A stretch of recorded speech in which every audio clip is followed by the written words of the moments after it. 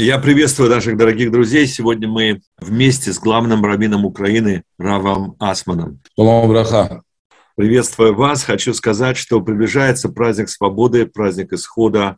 И я мечтал о том, чтобы быть в этот день с вами и отмечать вместе с народом Украины ту свободу, которую вы все вместе отстаиваете. Представим себе, что мы с вами на этот праздник у вас за столом в Киевской синагоге Бродского. Добро пожаловать, welcome на наш пасхальный седер. Говорим как раз в начале пасхальной годы, что каждый, кто хочет, придет и сделает Песах.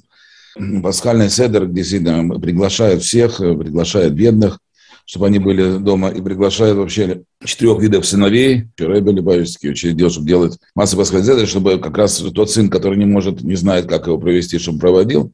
Есть города, которые находятся постоянным обстрелом, есть которые просто города уже там. Хотя мы сегодня отправили Мацу, я вам скажу, город Чернигов. У нас были волонтеры из города Чернигов, и мы отправили туда Мацу, они сказали, там еще евреи остались. Мы сейчас в городе Чернигов, привезли, приехали сюда вместе с э, амбулансом нашим, который работает здесь, и еще с, из, привезли израильских врачей, которые раздавали сейчас просто на улице города раздавали лекарства, тыс, сотни, не знаю, может тысячи людей стояли, выстроились в очереди, э, всем нужны были лекарства, нужны были теплая одежда раздавали. Пожилые люди живут в домах разрушенных, частных домах, прямо там живут без окон, без дверей спят на развалинах. Мы завтра хотим с энергетикой делегацию, вернее, спасительную, как бы, чтобы их оттуда просто забрать и вывести в нормальное место. Это просто, да, живут просто. Я даже не думал, что так могут люди жить, и ну, это страшно. Вот. Слышали тоже, так сказать, о, о жутких историй, о жутких, расстрел, э, э, жутких обстрелов. Конечно, это страшно. Сколько мы еще узнаем таких историй, таких, э, сколько еще людей, там еще люди находятся под завалами, там, где мы были спасатели на стадионе. Короче, очень горькое чувство, но жизнь продолжается, и наша задача помогать людям, и мы будем спасать и помогать все, что от нас зависящее делать. Хорошего вам всем дня, и также мы параллельно готовимся к празднику Песах, мы сюда тоже для еврейской общины отправили э, Мацу, и ребят, куда ехать? Сюда? Налево. Налево. Туда? Отсюда приехать. Сюда, да. Короче говоря, чем можем, мы будем помогать все, все больше и лучше. Счастливо. Евреи стали возвращаться в Киев, например. Уже вернулось довольно много звонков, где можно купить мацу, где можно прийти на седр. У нас записалось, вот, уже две сотни уже записалось где-то в синагогу Бродского на пасхальный седр. Я не думал, что только будет. Потом в Анатевку там тоже у нас записались люди и другие. И еще постоянно записывается. Я думаю, человек 500 будет. Э, бабушки, дедушки мы раздаем очень много. А, завтра мы везем, завтра где-то 400-500 человек раздаем только мацу и все, что нужно для праздника, лежачим. Я знаю, что вы были в Израиле. Когда я приехал в Израиль, то я понял, что чувствуют люди, которые возвращаются с войны, знаете, которые были на войне, и вдруг они видят мирную жизнь, и вот они, так сказать, не понимают. В общем, многие вещи непонятны. То есть люди занимается какой-то ерундой, ну, назовем так ерундой, потому что люди, так сказать, обижаются из-за какой-то ерунды и так далее. Вот, и поэтому тяжело возвращаться из, из военного времени в мир, а потом обратно в военное. То есть, на самом деле, как в другую планету приехать. Я не собирался ехать в Израиль, потому что я же говорил везде, что я не уеду, но не уеду на постоянно пока. Хотя я, конечно, бы хотел остаться в Израиле. Тяжело мне было уезжать, все хорошо, у меня там и семья, и Ваша семья осталась сейчас в Израиле. Ваша супруга, ваши дети, ваши внуки в святой земле, а вы один приехали сюда ради общины. Естественно, дети говорили, вот как ты, папа, нас оставляешь, там, все равно я должен был вернуться, потому что, во-первых, здесь община, во-вторых, надо своим примером вдохновлять народ. Я поехал в Израиль, меня пригласили, просто попросили выступить на съезде. На 30 тысяч человек был на стадионе Блюнтвиль в Тель-Авиве в честь 120 лет дня рождения Любавического Рэбе. Мне пять минут не давали говорить.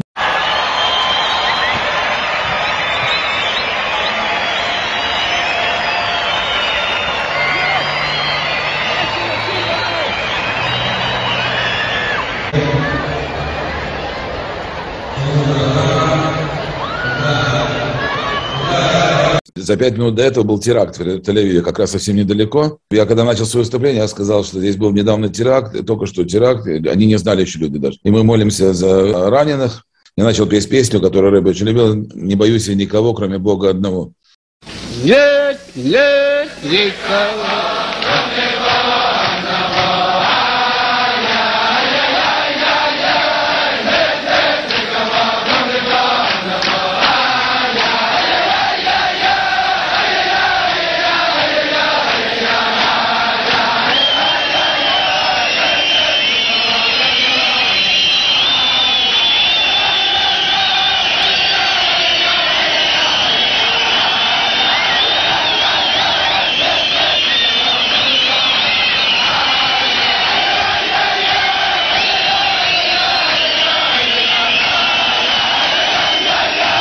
Весь, весь стадион пел со мной эту песню на русском.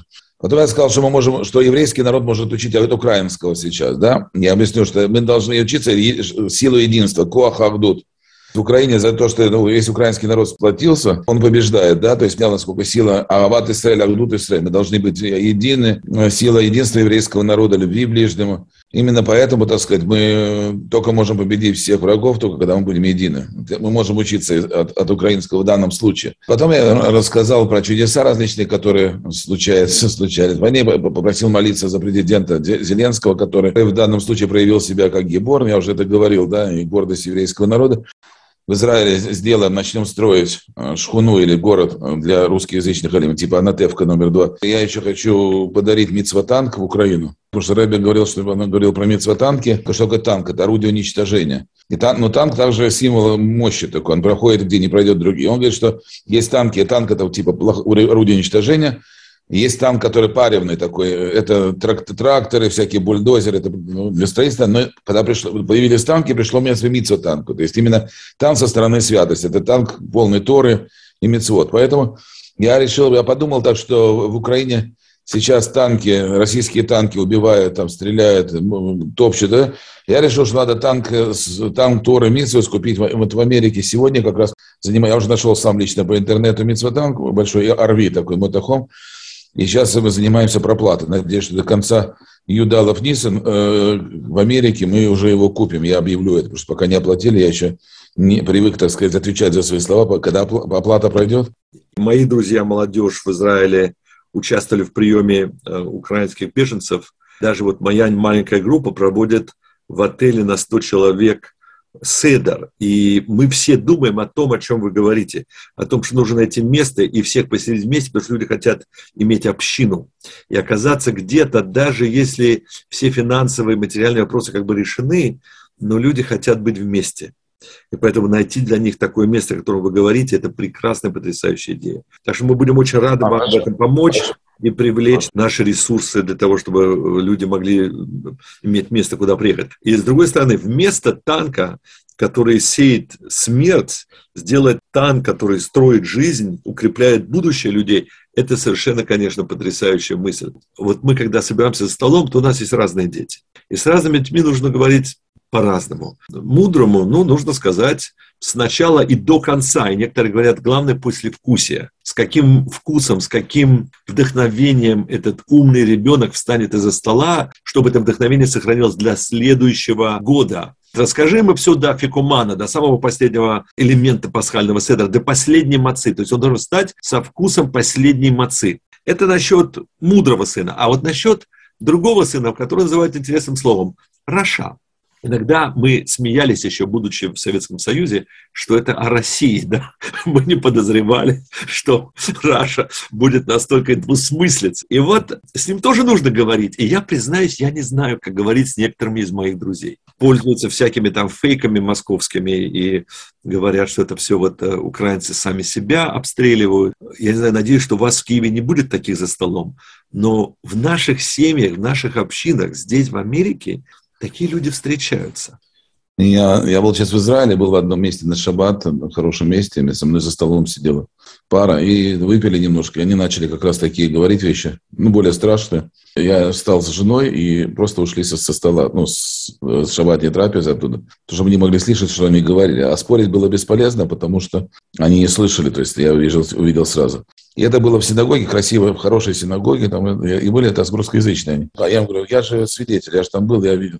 российский телевизор вводит это, людей в зомби такое, что это, это клиническую зомби. Те, кто были про, пророссийские, смотрели зомбоящик, вот этот, как, извиняюсь, так называется, и с ними невозможно было разговаривать, потому что ему объясняешь логически, он понял, понял, и через пять минут э, снова абсолютно, это, это не, не подается разум. Но когда первые бомбы начались, они, люди сразу прозрели, и те, которые были, кричали, так сказать, с пены рта там лозунги, они пошли в тероборону, потому что все увидели своими глазами, и все стало сразу ясно. Пока не касается самого, он может философствовать, мудрить, ум, умный такой. Я считаю, надо себя не уважать, чтобы дать возможность пропаганде. Для этого Всевышний сделал человеку голову, чтобы он мыслил, критически относился, что он получает извне. То если его используют, это может быть опасно, потому что сегодня говорят так, завтра ему говорят, ему говорят оружие, вот этим говорят, иди убивай. То есть они идут и убивают. Они обезличивают народ, говорят, там, мы типа антифашисты, все остальные фашисты. Ой, это очень легко, потом, потом легко любого человека за это стереть с лица земли, потому что он фашист. А кого ты назовешь фашистом? Можно те, которые политических оппонентов назовут, то есть можно там правозащитников, можно... Там в России уже говорят, те, которые против войны, это уже можно там посадить, если они там говорят фейки, распространяют фейки. То есть, если человек говорит правду, это значит распространяет фейки. А если, бы, если обманывает э, грубая ложь по телевизору, это правда. То есть, понимаете, то есть, это все, это все страшные вещи.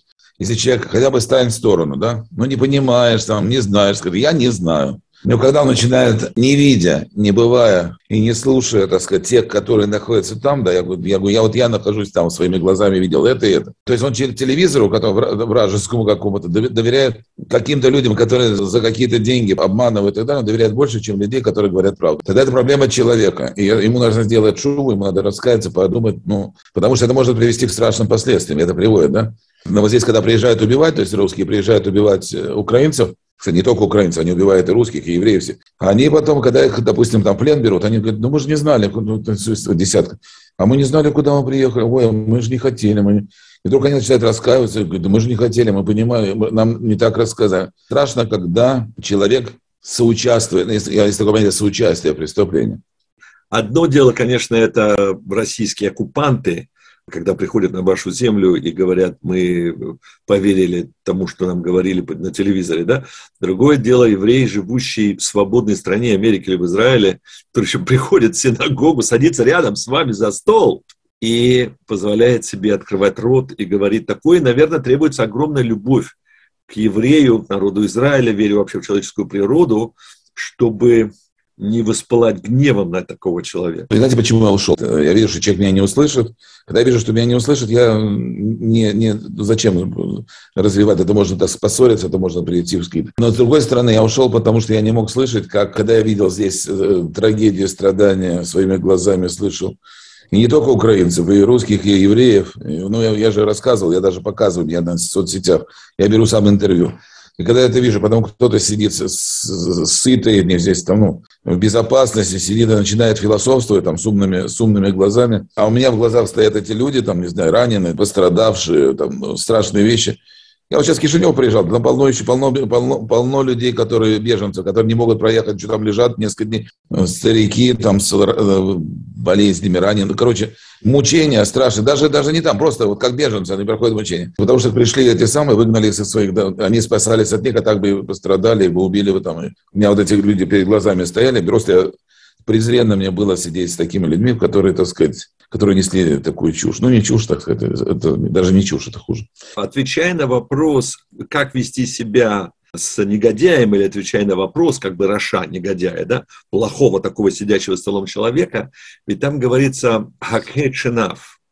И «хакхей шинав» переводится «притупи ему зубы». Некоторые думают «разбей ему зубы». Нет, притупить зубы означает притупить его негативизм, остроту его негативного отношения Торе, к еврейскому народу, если это возможно. Но другие говорят, это не то, что ты должен ему сказать, а зачастую то, что ты должен сделать, так объясняют мудрецы, если ты видишь, что он тебя не слушает, ты должен уйти. А все, что ты хотел сказать ему, это ты скажи себе, чтобы не попасть под его влияние. Потому что ему зачастую лучше всего сказать именно то, что сказали вы не общаться с ним. И примером этого является наш с вами друг Алек, который живет в Нью-Йорке, которого вы знаете и которого я знаю. И он сказал, что ему позвонил его друг детства, который когда-то жил в Киеве вместе с ним, и спрашивал, как дела? А он ему говорит, ну как могут быть дела, когда Киев бомбят? А тот говорит, а мне все равно, мне пофигу. Он говорит, я подумал, что ему ответить. Я ему сказал, забудь, пожалуйста, номер моего телефона. То есть, по сути, он сделал то, что сделали вы. Что-то происходит сейчас в эти дни на Украине, то есть э, как бы затишье в вашей части страны и напряженное ожидание на востоке и на юге. Что-то вы можете прокомментировать для нас, э, что украинский народ, что вы чувствуете сейчас как бы в преддверии бури, э, битвы за Украину, которая будет, вот, очевидно, в ближайшие дни? Там не ожидания, там идут, там идут бои очень кровопролитные, еще хуже, чем были. В Мариуполе, в, то, в том месте, там страшные бои. Российская армия окружила Мариуполь. Там они страшно что-то творится, там полно гражданского населения, там дерутся до последнего, там просто его равняет десятки тысяч погибших, еще не понимает, что там да, это преступление, там, ну просто даже не подается описанию. Если солдаты там остались до последнего, они сами добровольно, так сказать, и понимают, что это сам, ну страшно, что происходит. Это Мариуполь, в, Хар... в Харькове, в Харькове Харьковское направление тоже там очень горячее направление. Это вся граница с Донецкой областью тоже. Там постоянные э, тяжелые бои. Туда стягиваются большие части из России. Там ну, реально там очень страшно, там очень страшно. И мы сейчас ездим вот эти все города, которые, которые страшные трагедии, там Буча, сейчас Бородянка, еще там Гастомель, Чернигов и села, которые я просто знаю не с первых уст, мы здесь финансируем очень много э, волонтерских организаций, которые реально работают, реально работают в тяжелых местах. Люди реально рискуя своей жизнью, герои. Мы таки, с такими работаем, их тоже пытаемся финансировать, потому что у них, они даже не знают, где деньги сводить, они на свои деньги там, ну, реальные вещи делают э, очень большие. Я не могу даже рассказать, что пока. После войны, наверное, можно будет это все рассказать. У нас целая кухня работает. Короче, во многих направлениях мы ведем большую гуманитарную работу. Я лично еще не начинал готовиться к Песуху. И фактически, ну, то есть не начинал как. Я организовал, что пришло сюда еда, чтобы маца было. Но здесь люди работают, но надо лично еще готовиться. У меня такого не бывало. Потому что мы заняты гуманитарной деятельностью. И мы развозить будем и, и завтра. Это просто не, нету времени, честно говоря. Мне надо продавать хамец для всех. То есть, продавать, то есть есть еще равинская работа, которую надо сделать. На мой взгляд, вы да, сделали самое главное, что должен каждый еврей делать э, для Песах. Он должен позаботиться о том, чтобы у других была маца. Это у нас есть обязанность каждый помочь бедным, нуждающимся перед праздником Песах. И даже когда мы начинаем пасхальный седер, то великий мудрец морали из Праги, мистик, писал, что причина, почему мы разламываем мацу в начале седера и говорим, это хлеб бедности, который ели наши отцы в земле египетской, не когда мы вышли, а еще в земле египетской. Это для того, чтобы напомнить, что несмотря на то, что когда мы были в Египте, мы были рабами, и каждому из нас было плохо, и каждый был бедным рабом, тем не менее он ломал свою мацу там, для того, чтобы делиться с другим нуждающимся. И потому, если человек делится в бедности, то Всевышний даст ему больше, чтобы он мог делиться тем, что у него будет, когда Всевышний ему даст больше. Поэтому благословение вам, чтобы вы могли продолжать делиться с людьми мацой. И это мораль из Праги говорит, и есть настоящая свобода. Свобода – это быть свободным, творить добро. Потому меня очень вдохновили ваши слова о том, что вы говорили, что вы чувствуете особую привилегию в это время трудное оказаться на этом месте и помогать людям. Сейчас во время войны у нас много кристаллизировалось. Были люди, у которых были деньги, они бежали, и деньги там пропали, или там имущество какое-то, или вообще, вообще не, э, получилось, что это не главное. Э, у нас многие люди, которые у них все было, и вдруг они сами бежали без ничего, там схватили машину, представьте себе, там в машину положили то, что вошло, у кого машина была, у кого было бензин на проехать 200 километров, многих даже машину не взяли, они в автобусе ехали, взяли самое необходимое, и больше ничего нет. Для многих людей это трагедия, да, есть, которые живут в Западной Украине, а там города, города переполнены в три раза, да, то есть негде матрас кинуть, да, то есть вот так человек должен жить каждый день, а он привык жить хорошо и даже не снять гостиницу. То есть, и вдруг ты понимаешь, что за деньги есть вещь, которую не купишь. До меня один говорит сейчас в человек, а я потерял там все свои деньги. Я говорю, а люди потеряли свою жизнь. Я говорю, скажи спасибо, что ты только деньги потерял. То есть все относительно, да? Поэтому приходит переосмысливание, да? Я с многими людьми разговариваю, которые были раньше заносчивые, например. И вдруг они такие стали культурные. Есть люди, которым не мог дозвониться, то есть они были, ты шо, а мне там звонишь, там такой, которых было много денег. И вдруг они стали совершенно по-другому относиться. То есть на самом деле у многих людей произошла переоценка ценностей, в том числе и у меня. Я не чувствую себя беженцем, потому что я чувствую себя шалехом что я здесь нахожусь, помогать людям. когда тебе предоставится возможность помогать людям, ты можешь 24 на 7 э, этим заниматься, то есть, э, то это, я, это очень приятно. Мне кажется, что вы объяснили сейчас смысл э, марора и мацы. Потому что если марор – это горечь и ощущение того, что мы видим страдания других людей, то маца – это то, что мы должны спешить делать. Мы должны спешить творить добро. И поэтому, с одной стороны, мы берем сначала мацу и говорим, как важно творить добро. Напоминаем себе о горечи марора, когда едим его отдельно, а потом кладем мацу и марор вместе и едим так, когда был храм, стоял храм, увидели, что есть Всевышний, который помнит свой народ. И тогда, как мораль из Праги, кстати, об этом же говорит, это буквально тому, что мы говорим «Шма Израиль». «Слушай, Израиль». Хашем – это милосердный, это маца, это символ свободы. Марор – это горечь, это суд, это Илуким, это другое имя Всевышнего, которое проявляется в страданиях, э, в том, что кажется нам судом. Но тем не менее и то, и другое в одинаковой степени приходит в этот мир для того, чтобы сделать нас лучше. То есть единство Всевышнего проявляется в том другом. И вот вы говорите об, об, о страданиях, которые вы видите, которые приводят вас как раз к тому, чтобы творить добро. Да, да. Подводя итог нашего разговора, вот мы сидим за столом и вспоминаем то, что мудрецы сказали. Тот, кто не сказал этих трех слов, Пейсах, Маца и Марор, как будто не выполнил да, заповеди. Но, во всяком случае, рассказать об исходе евреев из Египта. Песах – это род говорит, правда? Чистый род говорит. Словом можно сеять ненависть, но словом можно также рассеивать ненависть любовью и светом рассеивать тьму.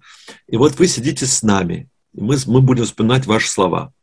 И вы можете рассказать нам, вот, что означает для вас сегодня этот праздник Песах, праздник свободы, чтобы мы встали за стола, и у нас прошел еще один год. До следующего Песаха мы хотели бы помнить ваше благословение, ваш месседж.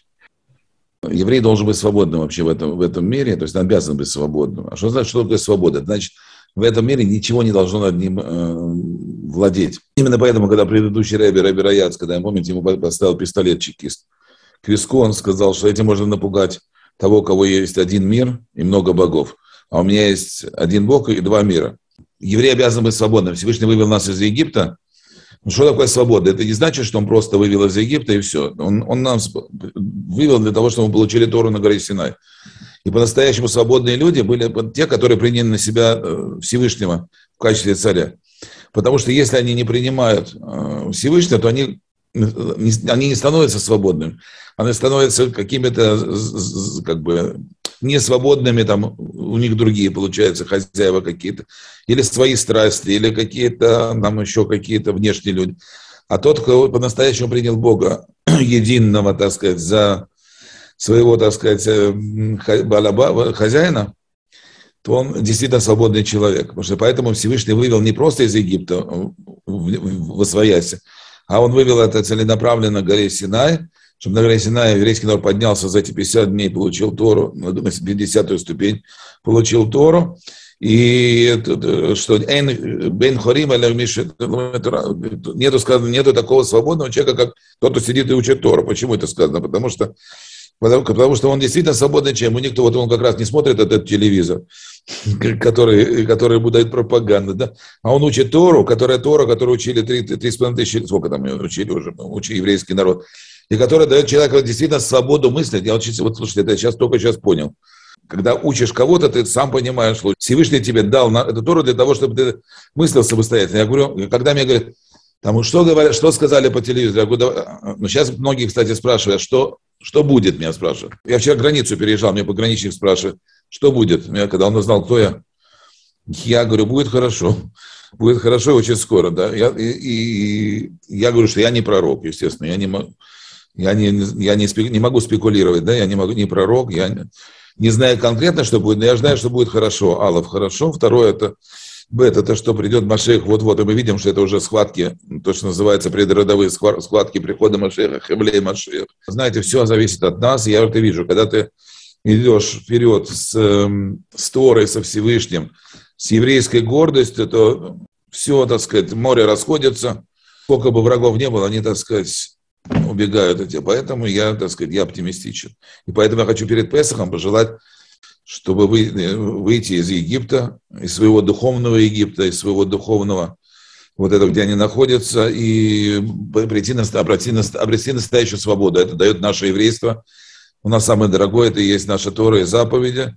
Поэтому вот я хочу пожелать всем нам, чтобы мы знали, что, что Айкар, что Тафель, что главное, что второстепенное – и чтобы мы не меняли наши дорогие вещи, принципы, которые наши отцы и матери принесли, дедушки, бабушки принесли сквозь века, сквозь инквизицию, чтобы мы дорожили этим. И именно вот поэтому в Песах, я что-то раньше думал, почему Песах такой скрупулезный надо, но каждая вещь символы, одни символы такие. Я, честно, я, не, я чел действия, не символ. Мне самому тяжело было символы. А потом я понял, что символы, из этих символов заложена вся еврейская, так сказать, э, в этих символах еврейский народ выжил, так сказать, дожил до сегодняшнего дня. Когда одним символом пренебрежешь, вдруг оказывается, что это, а это ты, ну я не знаю, там, это как в доме, там, кусочек подпилил, кусочек фундамента. Но может он не упал, но стал слабее. Когда ты еще там где-то еще чуть-чуть подпилил, а потом мы удивляемся, почему, так сказать, дома рушатся. Поэтому, так сказать, надо делать большой фундамент строгий, strong, strong, как у вас там говорят, strong. Наш фундамент – это наша вера strong. Я желаю, чтобы все были радостные, что Песах кошер вы самые говорят. Кошер, чтобы был кошерный Песах. Для этого надо обратиться к Рав Кацину. Он наверняка всем поможет э, сделать кошерный Песах. И Самеах, мы, думаю, все вместе сможем помочь. Если кошер я не могу, мы как Самеах будем радостны. Спасибо огромное вам. Я хочу, принимая ваше благословение, сказать, что, конечно, вы для нас э, источник вдохновения в этом праздник Песах, и поэтому я хотел быть с вами, если не, даже не, не доеду по каким-то причинам в этом году, тем не менее мысленно буду с вами, потому что вы сегодня э, герой, который остался в Киеве, оставил свою семью в Израиле. Я, я не говорю о вас лично, я не говорю о вас лично. Я просто хочу, чтобы наши друзья помнили о том, что свобода, и это свобода от страха.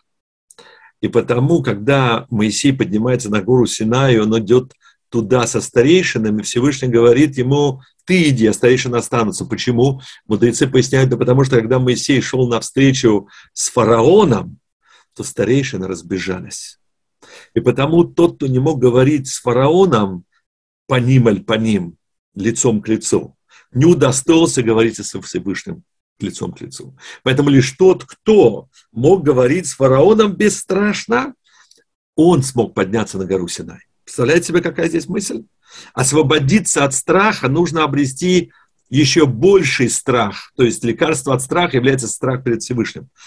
А потому э, это праздник свободы, который позволяет нам преодолеть все препятствия. Потому вершатся чудеса развержения моря, и в конце концов, чтобы мы все вместе э, получали Тору, конечно, ее изучая ежедневно, э, и чтобы чудеса сопровождались на вашем пути, чтобы море проблем, стоящих перед украинским народом и народов, народами мира, разверлось в этот праздник Песаха, чтобы мы были свидетелями чудес. Всего Аминь. хорошего вам. Счастливо. Фреда Кошер Песах. Песах Кошер